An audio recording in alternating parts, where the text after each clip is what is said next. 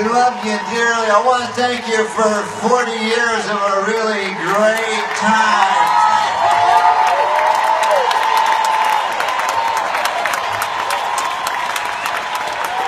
We're almost out of time. We got time for this one here.